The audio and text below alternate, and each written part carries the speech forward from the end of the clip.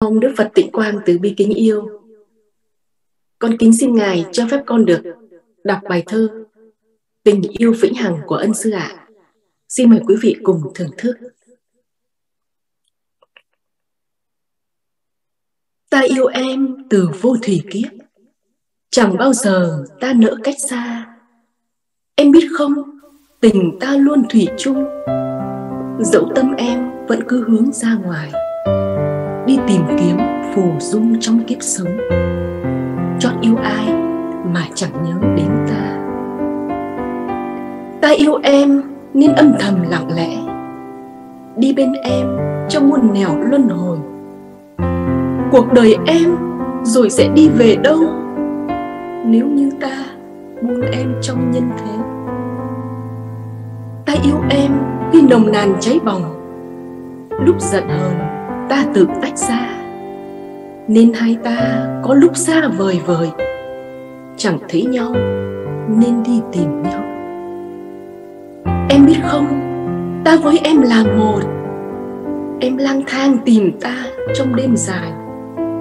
Cứ than thở, trôi lăn trong sáu nẻo. Không biết rằng, ta luôn dõi theo em. Dìu dắt em vượt trông gai cuộc đời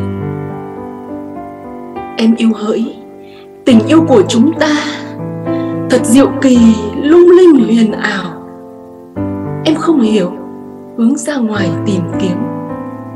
Người vợ, người chồng cũng chính là ta. Rồi những lúc tình yêu ấy mặn nồng, nhưng nhiều khi cũng tranh đấu hơn thua. Bởi vì ta, tất cả đều là ta.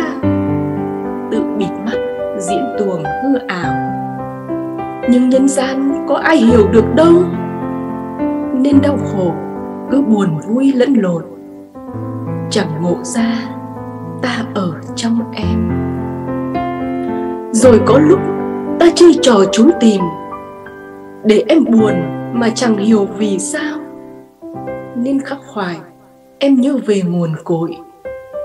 Em bỏ đời, bước vào cửa thiền môn. Ta và em đang chơi trò trốn tìm. Cứ như thế, qua muôn đời vạn kiếp. Giờ em đã tìm thấy ta rồi nhé. Hãy vui lên, cất tiếng ca yêu đời. Ở nơi đâu, em cũng đã thấy ta. Ta là hoa, tỏa hương thơm ngào ngạt. Khi em buồn cắm cũng thăng hoa. Ta là gió, vờn mái tóc tung bay trong ngày xuân, em chảy hội trăng rằm. Ta là mây, lang thang khắp bầu trời.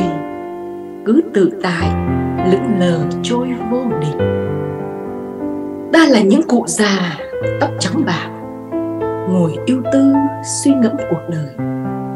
Ta là trẻ, mắt long lanh lấp lánh, nhoèn nụ cười, tỏa sáng dịu lòng ai.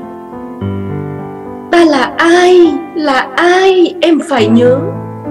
Đừng giận hờn, trách móc vu vơ. Kẻo nhập ngã, đôi ta chia hai ngả. Em luân hồi, ta lại mất công trông Valentine, ta tặng em món quà. Hoa tình yêu, ta gửi tới cho em. Là hào quang đang tỏa sáng bầu trời. Là muôn ngàn bông hoa đang khoe sắc.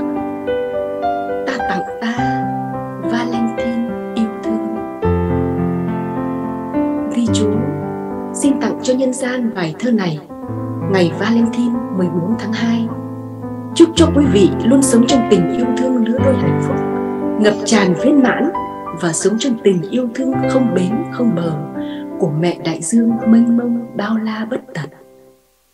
Minh sư tỉnh Quang Horonov, Cộng hòa Séc Ngày Valentine 14 tháng 2 năm 2023